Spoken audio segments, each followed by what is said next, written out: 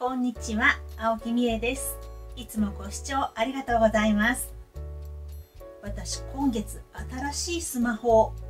これですね、iPhone 13を購入しました。5G ですよ。時代の最先端です。カメラレンズが2つついてますよ。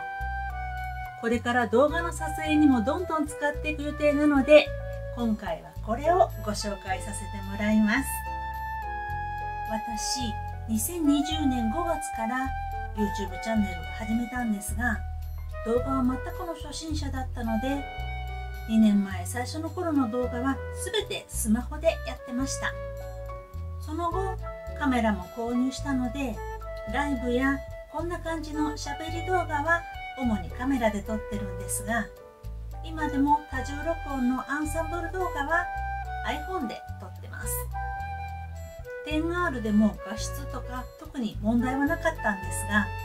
もともと動画撮影をするために購入したわけではなかったので、容量が64ギガしかなくて、すぐにストレージがいっぱいになって使えなくなってしまってたんですね。今回は256ギガの13を購入したので、ストレスなく使っていけるはず。早速テスト撮影もしてみました。大阪ハービスプラザで見かけた可愛らしい滝。いいなと思った時すぐ撮れるのがいいですよね。こちらは川沿いを歩いてて、なんとか蝶々が逃げる前に撮影できました。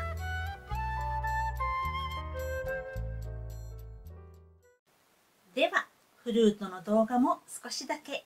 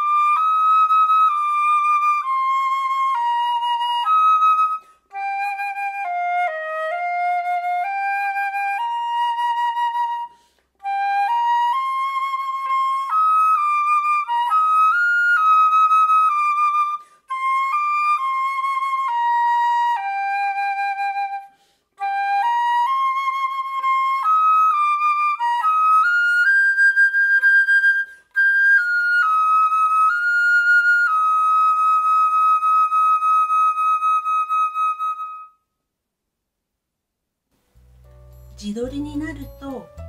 これじゃなくってこちら側のレンズになるので画質は落ちてしまうんですけどね。時々どうやって撮影してるのって聞かれるんですが私は iPhone に外部マイクをつけて収録しています。音質が良くなるのと録音レベルを調整できるので便利です。な感じで取り付けて三脚に固定したりスマホスタンドに載せたりして使っています YouTube 投稿動画では前回のアンサンブル動画から13を使っています興味のある方は前のものと見比べたりしてみてくださいね。ではでは皆様また次の動画でお会いしましょう。最後までご視聴ありがとうございました。